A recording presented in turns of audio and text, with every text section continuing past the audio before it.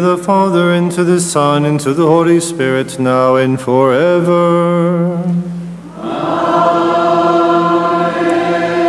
Jesus Christ, our Lord, on this blessed Sunday, make us worthy to praise your resurrection with pure hearts and clear consciences.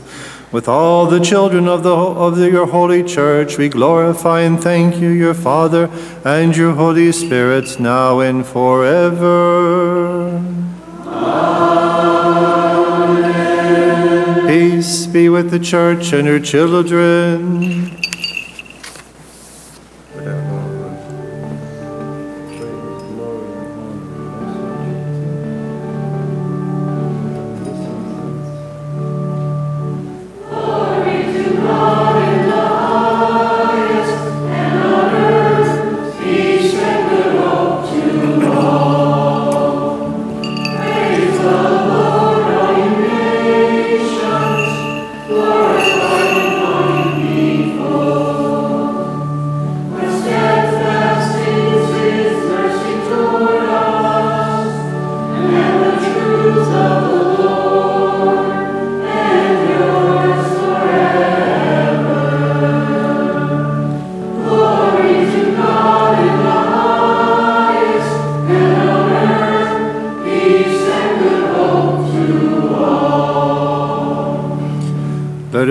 Raise glory, honor, and praise to the good and merciful Lord, who in his compassion came down to us and became flesh. He chose to taste death to save us, and he descended to the realm of the dead. By his resurrection, he gave joy to his disciples and gave light to all the nations with the light of his salvation. To the good one be glory and honor on this blessed Sunday and all the days of our lives and forever. Amen. O Word of God, who can adequately praise you for the depth of your compassion? And what voice can bless you, for you are above all praise? Neither mind nor tongue can describe the wonders you accomplished on Sunday, the day of your resurrection from the dead. And so, with the psalmist David, we cry out, This is the day the Lord has made. Let us rejoice in it and be glad. Now, O Christ our God, we ask you with the fragrance of this incense which we offer to you, to forgive our sins, give peace of mind to those in distress, and comfort to those who are anxious. Bring back those who are far, and watch over those who are near. Guide the shepherds, sanctify the priests, and purify the deacons. Pardon all sinners and guard the righteous. Protect orphans and help widows. Drive away all conflicts and put an end to dissension. Remember the faithful departed and grant them rest in your heavenly kingdom, that with them we may celebrate that eternal feast. We raise glory to you, to your blessed Father, and to your living Holy Spirit forever.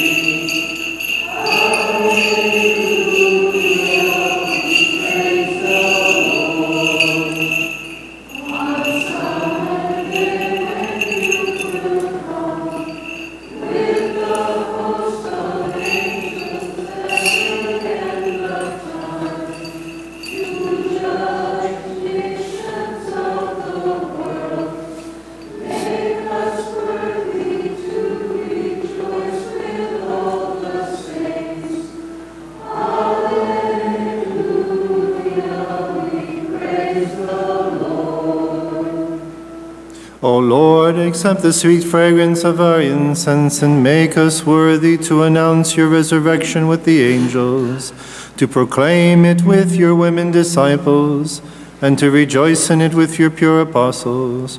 We raise glory to you, to your Father, and to your Holy Spirit forever. Amen. Kadishat Holy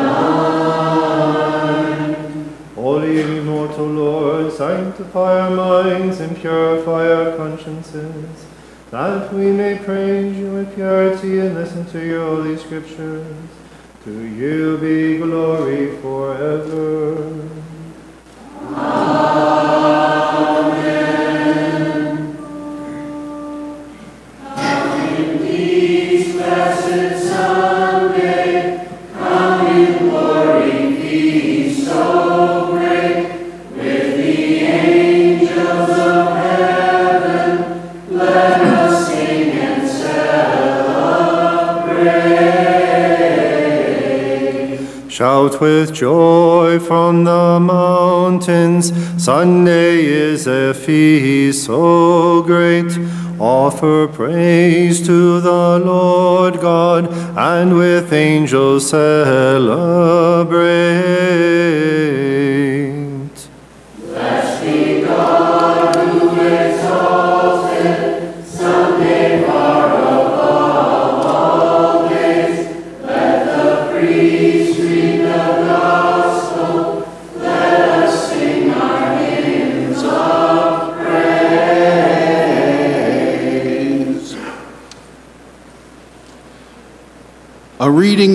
first letter of St. Paul to the Thessalonians. Glory to the Lord of Paul and the apostles. May the mercy of God descend upon the reader, the listeners, and upon this parish and her children forever. Brothers and sisters, for you yourselves know that our reception among you was not without effect. Rather, after we had suffered and been insolently treated, as you know in Philippi, we drew courage through our God to speak to you the gospel of God which mu- with much struggle. Our exhortation was not from delusion or impure motives, nor did it work through deception. But as we were judged worthy by God to be entrusted with the gospel, that is how we speak, not as trying to please human beings, but rather God who judges our hearts. Nor indeed did we ever appear with flattering speech, as you know, or with a pretext for greed. God is witness, nor did we seek praise from human beings, either from you or from others, although we were able to impose our weight as apostles of Christ. Rather, we were gentle among you, as a nursing mother cares for her children, which with much affection for you. We were determined to share with you not only the gospel of God, but our very selves as well. So dearly beloved had you become to us. You recall, brothers and sisters, our toil and drudgery, working day and night in order to not burden any of you. We proclaim to you the gospel of God. You are witnesses, and so is God, how devoutly and just and blamelessly we have behaved toward believers. As you know, we treated each of you, each one of you, as a father treats his children, exhorting and encouraging you and insisting that you conduct yourselves as worthy of God who calls you into his kingdom and glory. And for this reason, we too give thanks to God unceasingly, that in receiving the word of God from hearing us, you receive not a human word, but as it truly is, the word of God, which is now at work in all you who believe. Praise be to God always.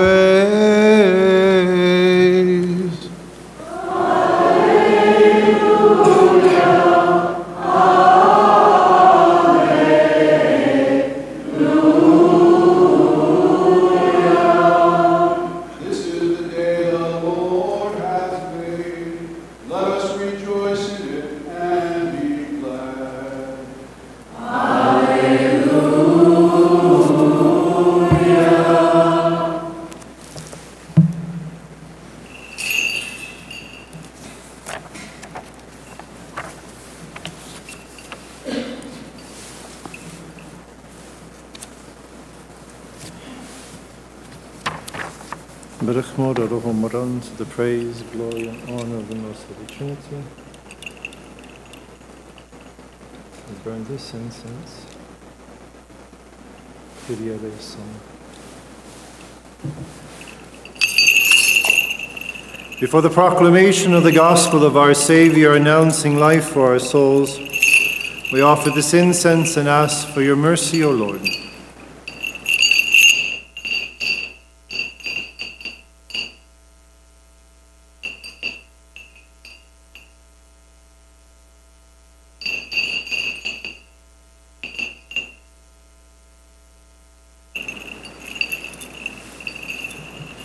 Peace be with you. From the Gospel of our Lord Jesus Christ according to St. Luke, who proclaimed life to the world. Let us listen to the proclamation of life and salvation for our souls. The evangelist Luke writes As they continued their journey, Jesus entered a village where a woman whose name was Martha welcomed him. She had a sister named Mary who sat beside the Lord at his feet, listening to him speak. Martha, burdened with, with much serving, came to him and said, Lord, do you not care that my sister has left me by myself to do all the serving? Tell her to help me. And the Lord said to her in reply, Martha, Martha, you are anxious and worried about many things, but there is need of only one thing. And Mary has chosen this better part, and it shall not be taken away from her. This is the truth. Peace be with you.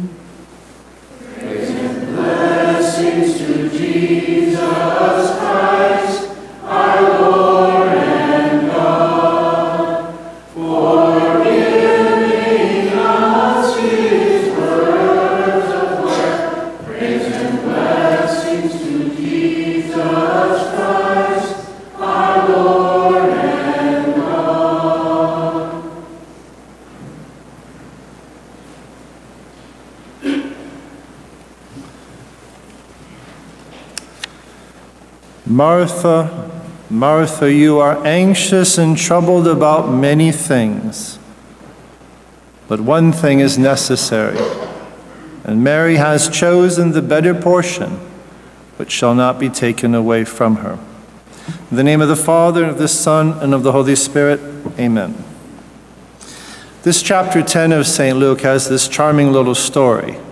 We all recognize it. You just think about being at the holidays and the, what you're cooking in the afternoon didn't work well, and your daughter should be helping you. Instead, she's out talking to her uncle, and it's like, Will you get in here and help me right now? And this is very much an episode that we all recognize.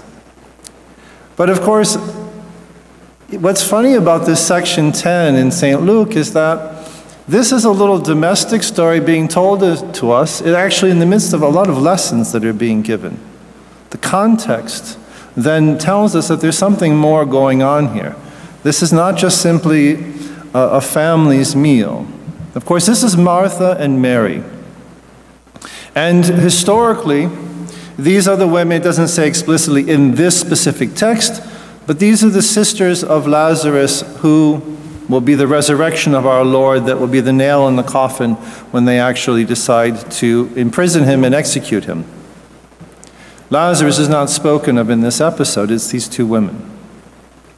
But the context of the story which is here is important because the section before in this chapter 10 of St. Luke, the section before is the famous parable of the Good Samaritan, which is also something unique to St. Luke. That parable doesn't exist in any of the three other Gospels, only in St. Luke. We know it well. Then we have this episode of our Lord appearing here. And then after this, at the beginning, because this is the end of chapter 10, at the beginning of chapter 11, the apostles come to our Lord and they say, Lord, teach us how to pray. As John taught his disciples, John the Baptist, as John taught his disciples.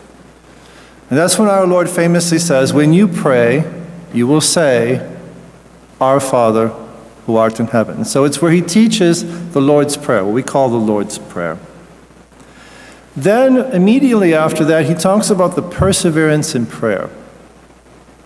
And he uses a parable of a man who has a friend whose friend comes to him in the middle of the night wanting some bread because he himself has guests now. And now he's coming over and he's pounding on your door because he's run short of supplies for his own kitchen. And it's the middle of the night, so this man's in bed, his family's in bed, the door is shut, it's barred, locked, everything, and he's pounding on the door. And the man from the inside just basically shouts out to him, Look, we're all in bed, just do with what you have. And the man keeps pounding, pounding on the door. And our Lord says if he doesn't get up because of friendship, he'll be get up because the man is being impertinent. He's pounding away and he's insisting. And in that importunity, he's going to get up and help him. And our Lord says it must be the same with you. You must pray, and you must pray, and you must pray. And when you're done with that, you must pray again. And he uses this parable, but that's where you have the famous ask, and it shall be given to you. Seek, and you will find. Knock, and it shall be open to you. That text we know pretty well, but that's its context. It's not our Lord as I'm a big wish tree and I'll give you whatever you want. It's in the context of saying you must continue to pray and to ask. Because the very act of asking and praying is itself a lesson. We learn ourselves. God, pounding on the door of heaven, so to speak, doesn't do anything for God. God knows exactly what we need. And He knows exactly what we do not need either. And that's part of what we learn in our lessons. Is that the things that I think are so indispensable to my life, and I ask for them and I ask for them, some people get PO'd. Now, well, you know, there's no God in any case. Who cares? You know, my life, this, this, and this, this happened, that happened, this happened, this happened, and this happened. So there's no God. Oh, and also, my parents were idiots. All right? We, we've all heard this. There's no God because my father was a jerk. Where is the logical connection between that? This is why our Lord gives a parable and the insistence on why we pray. We pray because we're learning exactly what we need in our lives, not because we're telling God anything. Prayer is about us, it's directed to God, it's the elevation of the heart and the mind to God. But it's about what we learn, not what God gets out of it. We have that beautiful thing in the anaphora of St. John Chrysostom when we say that your majesty is not increased by our praise. We praise God because it benefits us to recognize the origin of all existence. This is why we're here every Sunday. Because week by week, it makes us different people to be present at the mysteries. Not because it does anything for God, and God's not some great egoist in the sky that demands praise and laud because he's just lonely or something. That's ridiculous. Totally anthropomorphic idea of God. The praise that he demands is because it benefits us to recognize that there's something else in my life other than me. And that's a huge lesson that all of us have to learn. And that's part of the maturity as we go through life and we deepen in wisdom and this union with our Lord. Or at least we're supposed to. I know that in Arizona and Florida, there's a whole group of people in their 80s who run around pretending they're 22. They haven't matured. They're goofballs. All right? There's no other way you can say it. And it's not respectable. I mean, come on. It's beautiful that she has great grandchildren. It's beautiful that she has a beautiful family. But that she run around like a 22 year old bimbo in tennis shorts and that, I mean, come on. There should be the esteem and the veneration of a woman whose life has been well lived, of maturity and wisdom. And I only say this from experience when I used to visit my grandparents in Phoenix, Arizona. And I watched them all coming in their tennis outfits coming into the restaurant where we were having dinner. And it's like, really? Oh my. so let's go back to Martha and Mary. So, why this little domestic story that comes in that's so tiny? So, in between all of these lessons, it just that's why the gospel begins today, and our Lord went from there and passing on, he came to the house of a woman named Martha. Well, what the story is, of course, telling us, and what has classically become, is that Martha and Mary become paradigms. They are exemplars of a life of activity and service to the Lord? Because Martha's serving our Lord, He's waiting on Him. You know, she's preparing supper for everyone here. And so Martha, she's a good woman. She's not a, she, both of these women are good, but they're doing different things. And Mary has become the exemplar, often identified with Mary Magdalene being the same woman. But Mary has chosen something different serving our Lord, which is to hear what He has to say. So all of a sudden now we understand a bit better the context of about praying and asking and asking and asking. Because in asking, we should be listening. Right? This is classic within families, right? We argue, we get our points across, but we never resolve anything because we're not listening. We don't hear the other person. The marriages that last, last not because they, they live in some kind of fantasy world. They last because they know how to listen to each other in those arguments, which are inevitable in human life. And so, what our Lord is saying here, when Martha comes in and he says, Martha, you can imagine probably even a small smile on our Lord. Martha comes in with her apron on and flour all over her hands and this kind of exasperation of, can't you see how busy we are? Now, it's not nothing to do with you, Lord.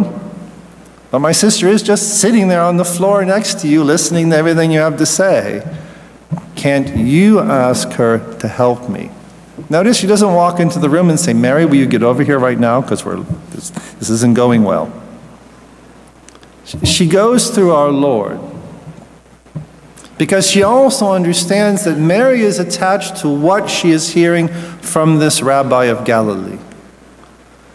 And so if the rabbi says, Well, Mary, help your sister, then she'll do it. But if I just go tell Mary this, Mary's going to be like, psst, psst, get out of here. How often does he visit us? I'm listening. This is awesome. So we don't have any of that exchange. She goes, she goes through our Lord. And so the two have become exemplars of the active life in service of the gospel and the contemplative life in the service of the gospel. St. Gregory the Great is one of the first ones to lay this out, to make them as a paradigm and an example by gospel lessons. But of course, in this context of prayer and the Lord's Prayer and the Good Samaritan also, remember the Good Samaritan that I've explained to you is not about social activism. The parable of the Good Samaritan is about the work of redemption. The Good Samaritan is the Messiah who picks up and redeems and saves Adam, who's been left half dead on the side of the road, that the Old Testament, the priest, the Levite would not, could not save. And when, when he finishes, he says to the man who's been asking him the questions about what is the supreme law of the gospel. Remember, after they go through this whole question of who shows compassion, his answer to this young lawyer, to this lawyer, just simply is you go and do likewise. Imitate the work of redemption. Imitate the intervention of God in creation. You can't do it by imitation of duplication, but you can walk in the footsteps to show that compassion. But the compassion comes from the motivation of healing. And then, of course, with these prayers. So, Mary, then, when we understand it, Mary has already come to the point of appreciating what the word is that she's listening. That for the rest of us in our life of prayer and our participation in the mysteries, we learn to listen. And in listening, we move forward by learning and maturing. And we enter deeper into wisdom. So Mary has already understood that. Martha's doing nothing wrong. But Martha hasn't understood yet that there is a higher reason for life. And it's not just simply domestic courtesy or hospitality. That it's ultimately within doing that domestic work that Martha's doing, she needs to learn that you also have to be able to hear the voice of God in this service. And so that's why when our Lord says he doesn't talk to Mary, that's what Martha's asking for is, well, talk to my sister. He doesn't talk to Mary. He just smiles at Martha and says, You're anxious about many things. That's understandable. But there's only one thing necessary. And Mary has chosen that better part. And that she will not lose. That will not be taken away from her. So that in this perseverance of prayer, when we go deeper and deeper and deeper into it, and we're learning how to listen, we're becoming more like Mary at the feet of our Lord. So sometimes when Providence doesn't give us to win the lottery tomorrow, sure, I'd love to win the lottery. Our endowment would be perfect. We'd never have to worry. We could dwindle down to six people here and the place would still be open because we could pay all the bills. But it's never going to happen because that's not the way community works. That's why none of us win the lottery, right? But Providence also knows that it's not the best thing to happen in our lives. No matter how well we think that it would really give a boost, He's teaching us. God is always teaching us. And so, between the two of these women, both good, both devoted to our Lord, our Lord is saying there is good and there is better.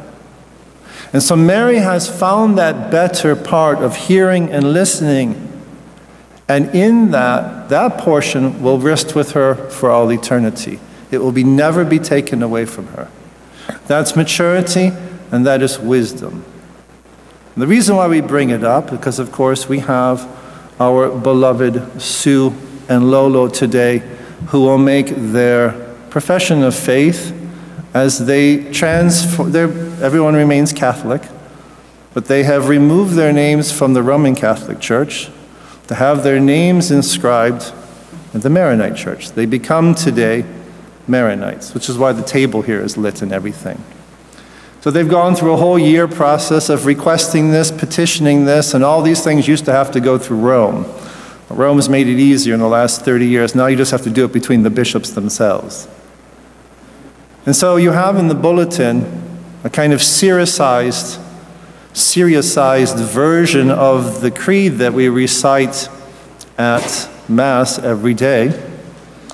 And these ladies will recite this. Then we have the blessing of some medals that they brought. And then they have their signing they have to do of their petitions and all the rescripts. And then we'll be done. That will take place immediately after the sermon. The reason why I bring it up with the question of maturity is I, I told these ladies a year ago, two years ago, I said, you know, you're more than welcome. Everyone's welcome to be here. Everyone is welcome to be here, and Catholics are, you know, brothers and sisters. But in listening for the years that they have come, four, five years now, how many? Seven. They've been sitting at the feet of our Lord. They came with certain concepts and ideas when they first came. And in sitting at the feet of the Lord, obviously they moved forward. Lolo is choosing as her name Ravka for the great woman, religious, of the end of the 20th, 19th century, beginning of the 20th century, whose life was completely married. Blind, migraines, paralyzed. Most people in the world will look at her life and say it was useless. From the age of 50 for the next 30 years of her life, her mid 40s until the 70, her 70s when she died, those last three decades of her life were nothing but pain and suffering, blindness, paralysis. And they would look at it and saying she didn't do anything. She's married. Those things took place because she asked in knocking at the door of the Lord, say, Lord, allow me to understand the depth of your passion. And migraines began immediately, and after that, as the years progressed, she lost her sight. They sent her to a doctor, an American, of course, in Beirut, so he's got to know he's an American. And all he succeeded in doing was actually knocking out her other eye, so now she was completely blind. And then after that, paralysis set in. But because the religious women around her understood what this was, this lesson of maturity and wisdom and grace, when they established a new convent, of the 12 women that went, they made sure that Sister Ravka went with them, though they had to carry her to that convent. She's never going to sweep a floor, she's never going to make a loaf of bread, but she's going to pray, and she's going to sacrifice and her participation in maturity and wisdom of the gospel is going to mean more to us than Sister Mary Gardenkeeper. And so it's a beautiful thing that she's taken as a tribute of maturity and wisdom to understand the path of Ravka, of Saint Ravka, that she would choose her as her patron saint. And Sue is chosen, you'll see in the bulletin, we put Mary in, in quotations. It's not Mary for the Mother of God. It's Mary for Mary of Egypt, the great penitent, the great exemplar of conversion in the desert. Lovely story. Very great saint in the Eastern tradition. So they are both very wise in choosing the patrons that they have chosen today. But we go back to the question when I said, and even when I talked to the chancery and said, these two ladies want to come in, they want to enter the church. And they said, well, they're welcome to come. And I said, no, I've told them that. But they knocked, and they kept knocking, and they've been waiting for months. Because in the end, the response was well, it's not that we just simply want to be at the Maronite church. We want to be daughters of St. Maron. So today you witness an adoption ceremony. That's what it is. On technicality, it's a rescript of moving names around in baptismal registers. But what it really is is an adoption. And the same way that all of us, sometimes by birth, sometimes by ascription, sometimes by conversion, we are the children of St. Mary. But these women have made it a choice. And their entrance is so that they become part of this 1600 year long tradition of the ascetic monastic tradition of entering into them. So they have chosen the better part. And I would venture to say that from the Lord's point of view, that better portion will never be taken from them. So they are also an example to all of us Maronites who are born so, who take it for granted. Show up at the clubhouse on occasion, and you know, it'll be there. Well, it won't always be there. There are a lot of empty churches in the Middle East, closed down, destroyed over the centuries. And so when we have the example of women who have come over these years to sit at the feet of our Lord, to listen, to hear, and to choose this better portion, it is a marvelous and beautiful example for us all. Because it reminds us what it means to be the children of Beit Marun, what it means to be part of this ancient tradition. So that may God give us that ability to persevere in prayer and to understand that in life, which is full of all kinds of anxious and troubling things, that there is only one thing necessary. And when we remain focused on that, that portion is guaranteed never to be taken from us.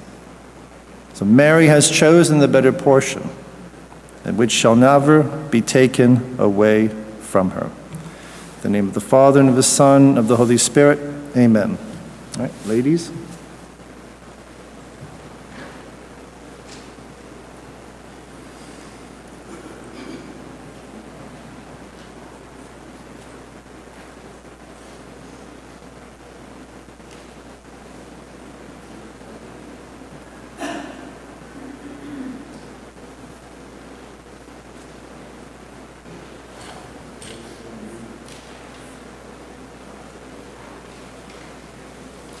So if you want to follow along, it's in the bulletin. The ladies are inside.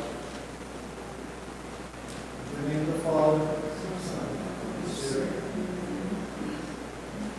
I believe in one God, the bright one who cannot be clouded, origin of all, the Almighty and hidden Father, maker of heaven and earth, of all things visible and invisible.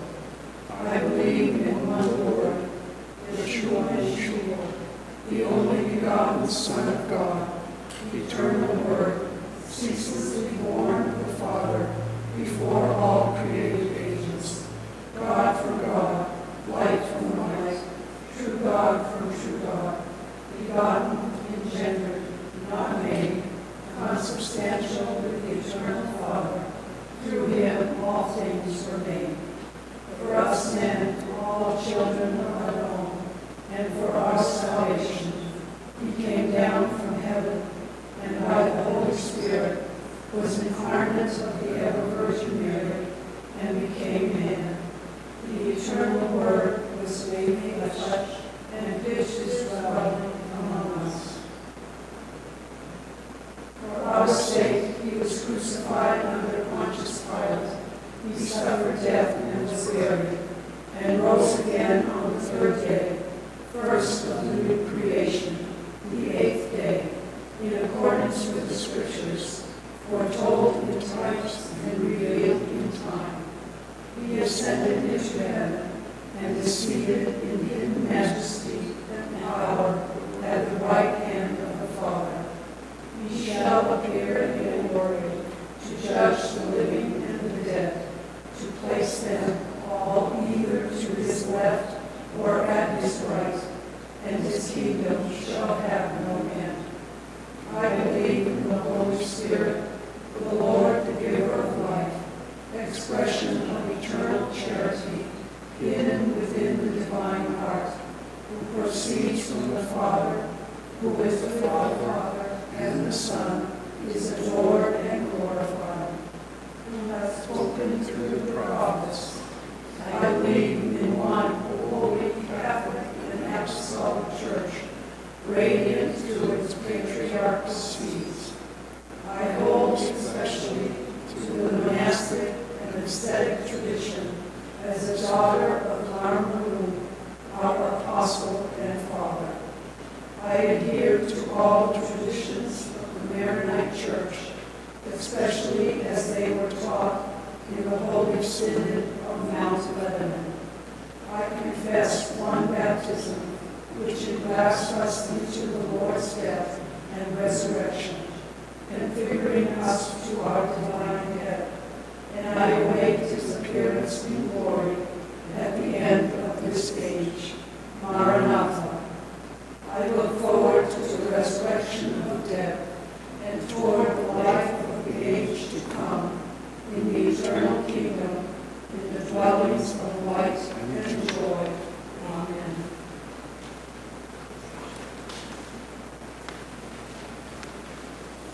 Glory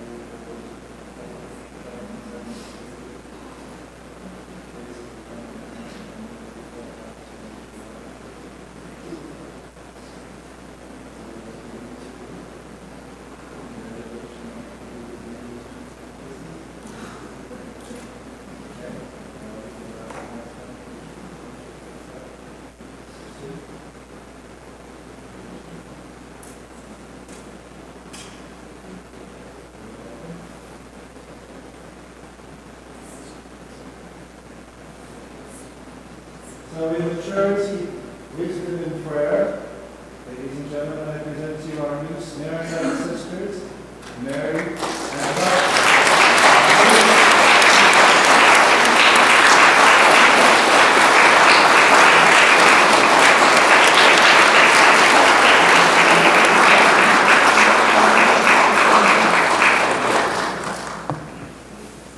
Ushers.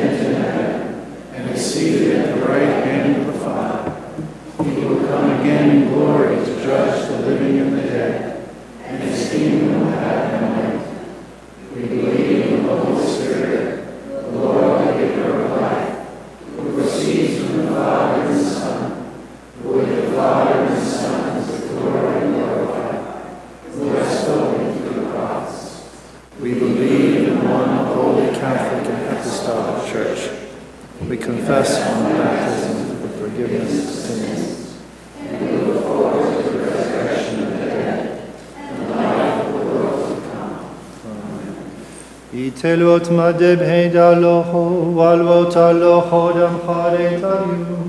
Wehem silvot hayuta, cheyul al vaitoch meskudem hayek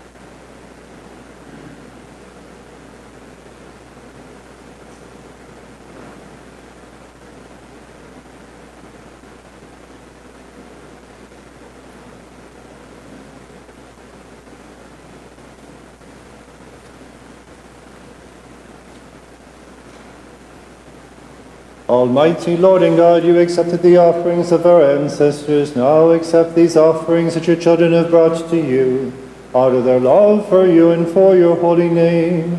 Shower your spiritual blessings upon them, and in place of their earthly gifts, grant them life and your imperishable kingdom. As we remember our Lord God and Savior Jesus Christ and his plan of salvation for us, we recall upon this offering all those who have pleased God from Adam to this day, especially Mary, the Blessed Mother of God, Saint Joseph, her spouse, Saint Mary, Saint Jude, Saint Mary of Egypt, and Saint Charbel. Remember, O God, the children of the Holy Church, our fathers and mothers, and our brothers and sisters, both the living and the departed, especially those for whom the sacrifice is offered, for the repose of Ferris Ferris, Lenin, and Benedict the. Remember also all those who share with us today in this offering.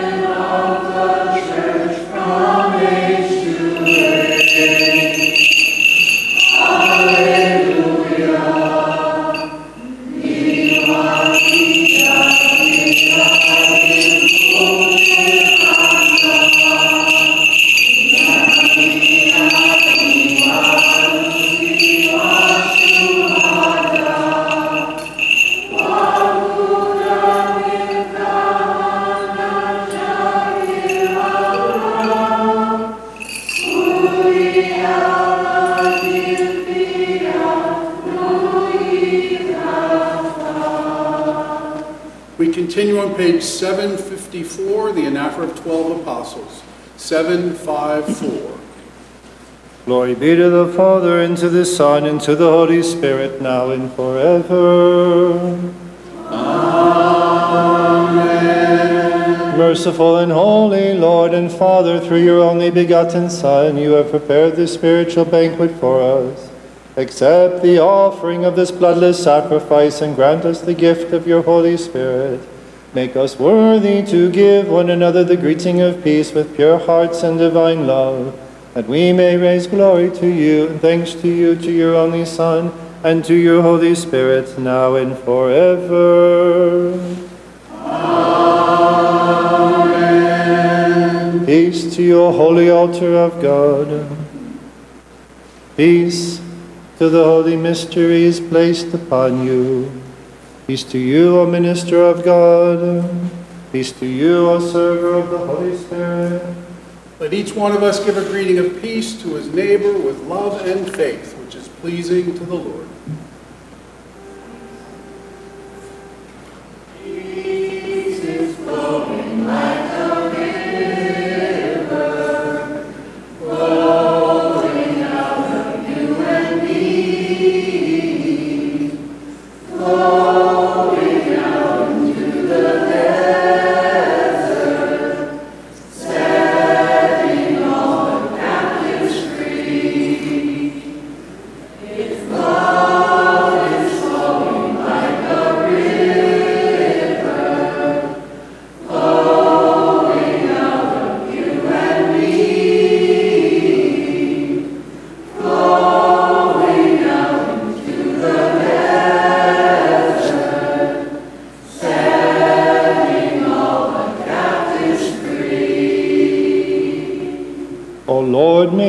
And security and your true love and divine mercy be with us and among us all the days of our lives.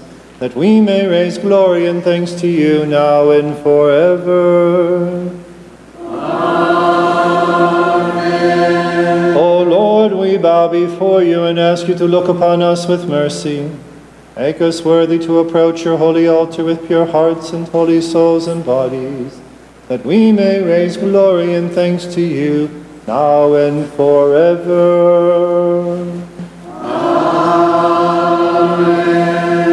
The love of God the Father and the grace of the only begotten Son and the communion and indwelling of the Holy Spirit be with you, my brothers and sisters, forever. And with your spirit. Let us lift up our thoughts, our minds, and our hearts. We lift them up to the Lord. Let us give thanks to the Lord with reverence and worship him with humility. He is right and just. Truly it is right and just to glorify and praise you, O God the Father, for you are holy and the giver of life. You are blessed with your only begotten Son and your living Holy Spirit. You are surrounded by the cherubim and seraphim who sing with pure voices and heavenly melodies. They cry out, glorify and proclaim.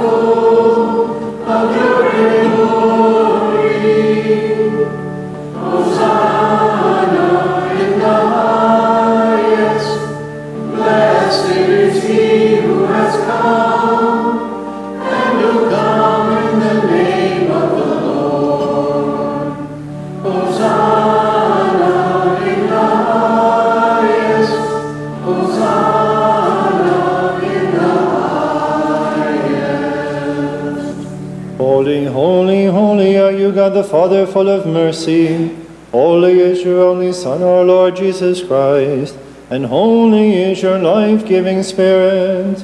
You are holy and the giver of all that is good. For our salvation, your only begotten Son became flesh of the pure Virgin Mary. And by his divine plan, he saved and redeemed us. Kyrie eleison. وبيوم خلقتم خشوا لما إن انسام اللحم من قادي شطو وبارخ يا وقصويا بالتلميذ وقادو مارا سابق صاب مني أخل مني كل خون خونو دنيتا فخرو دي نحلف يكون واخلف ساقيه ما تقسى وماتيهم خصويا حبي وحيلا قلم على مين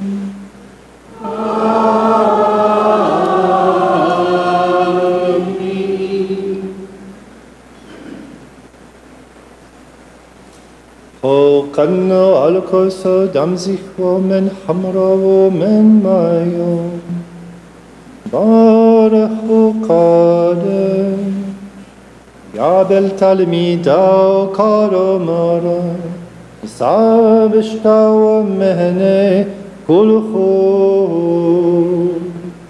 خونودنیتا دما دیلن دیا دیکی خداتو.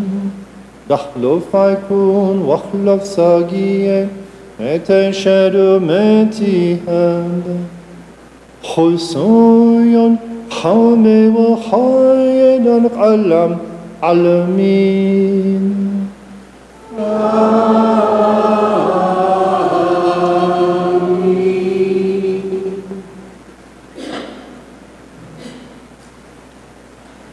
Whenever you eat this bread and drink this cup, you do so in memory of me until I come again. We remember your death, O Lord. We profess your resurrection. We await your second coming. We implore your mercy and compassion. We ask for forgiveness of sins. May your mercy rest upon us. O Lord, lover of all people, we remember your plan of salvation, and we ask you to have mercy on your worshippers, and to save your inheritance when you appear at the end of time, to reward all people justly according to their deeds. For this your church implores you, and through you and with you implores your Father, saying, Have mercy on us, Almighty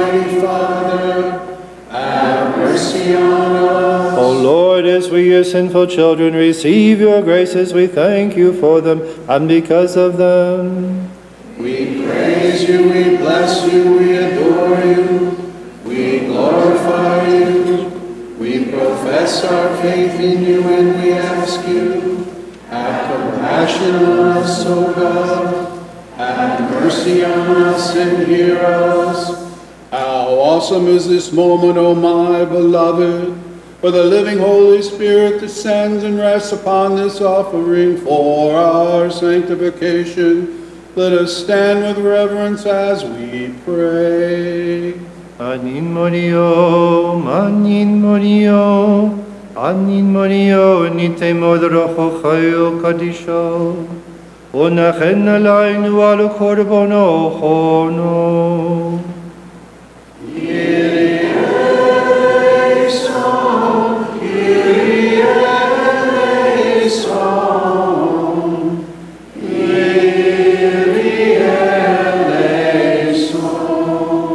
His descent he may make this bread the body of Christ our God. Amen. And make the mixture in this chalice the blood of Christ our God. Amen. May these holy mysteries be for the forgiveness of sins, the healing of souls and bodies, and the strengthening of consciences, so that none of your faithful may perish. Rather, make us worthy to live by your Spirit and to lead a pure life. We raise glory to you now and forever. Amen. We offer you, O Lord, this divine sacrifice for your holy church, especially for our fathers and shepherds, Francis, the Pope of Rome, Bechara Peter, our Patriarch of Antioch, Gregory John, our Bishop, and all the bishops of the true faith. With blameless lives and with purity and holiness, may they guide your church and present to you a faithful people who honor your name. We pray to you, O Lord. Lord, have mercy. Remember, O Lord, your people here before you, especially those who have presented these offerings. Forgive them so they may always live blameless lives in your presence and recognize the blessings that you bestow upon them. For you are good and rich in graces. We pray to you, O Lord.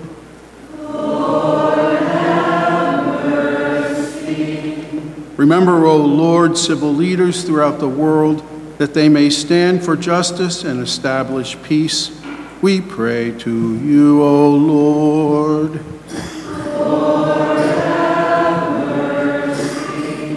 Remember, O Lord, all those who have pleased you from the beginning, especially Mary, the Holy Mother of God, the prophets, apostles, martyrs, and confessors, John the Baptist, Stephen the Archdeacon, St. Joseph, St. Jude, St. Maron, St. Rafka, St. Mary of Egypt, and all the saints. Assist us through their prayers and make us worthy to rejoice with them in your kingdom. We pray to you, O Lord.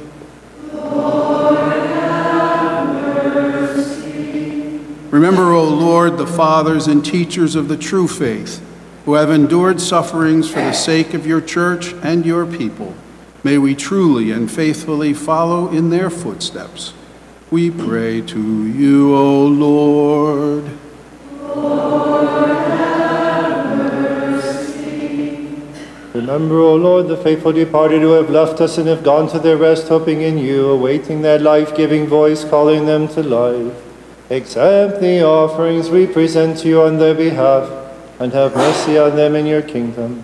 Through our Lord Jesus, who is without sin, we hope to find mercy and forgiveness for our sins and for theirs. And rest, O God, to the departed, and forgive the sins we have forgiven, with or without full knowledge. Grant us pardon, O God, and forgive us and the departed, so that your blessed name may be glorified in us and in all things. With the name of our Lord Jesus Christ and of your living Holy Spirit, now and forever.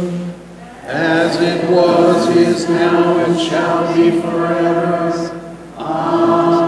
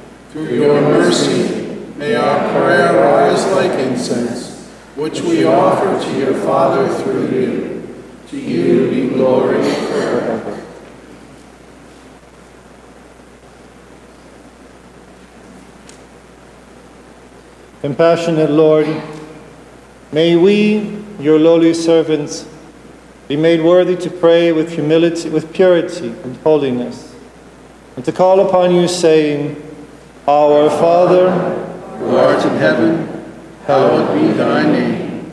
Thy kingdom come, thy will be done, on earth as it is in heaven. Give us this day our daily bread, and forgive us our trespasses, as we forgive those who trespass against us. And lead us not into temptation, but deliver us from evil. For the kingdom, the power, and the glory are yours, now and forever. yes, O Lord, lover of all people, deliver us from the evil one and from his deceitful ways. Do not forsake us, lest temptation overcome us. For yours is the kingdom with your only Son and your Holy Spirit, now and forever. Amen. Peace be with you. and with your spirit. Let us bow our heads before the God of mercy, before his forgiving altar, and before the body and blood of our Savior, who gives life to those who partake of him, and receive the blessing from the Lord. O Lord, bless your faithful people who bow before you. Deliver us from all harm and make us worthy to share in these divine mysteries with purity and holiness, that through them we may be forgiven and made holy, and we raise glory to you now and forever. Amen. The grace of the most holy Trinity, eternal and consubstantial, be with you, my brothers and sisters, forever. Let each one of us look to God with reverence and humility and ask him for mercy and compassion. Holy gifts for the holy, with perfection, purity, and sanctity. One, One holy, Father, Father, one holy Son, one Holy Spirit, Blessed be the name of the Lord, for he is one in heaven and on earth. To him be glory forever. Make us worthy, O Lord God, so that our bodies may be sanctified by your holy body, and our souls purified by your forgiving blood. May our communion be for the forgiveness of our sins and for new life. Lord our God, you be glory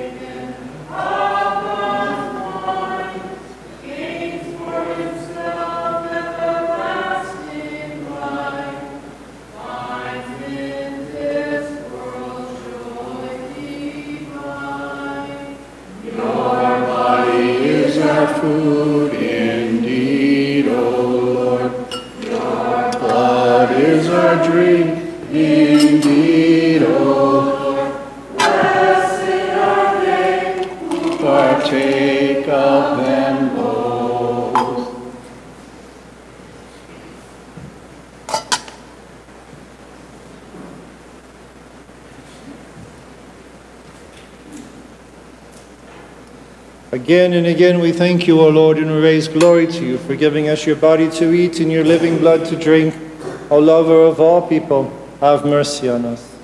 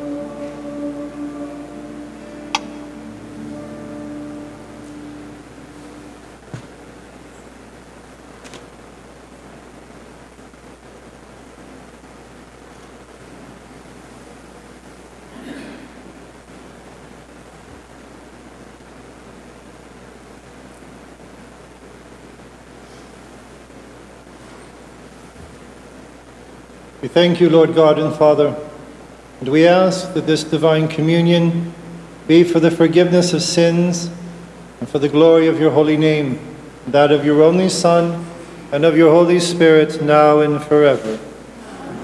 Peace be with you. Lord Jesus, our God and Savior, you became flesh for our sake, and by sacrificing yourself, you saved us. Deliver us from damnation, and make us temples of your holy name. For we are your people and your inheritance. We glorify and honor you, your Father, and your Holy Spirit, now and forever. So we have three announcements. One is to welcome home Situ Virgi and her clan. So it's always wonderful to see you each year.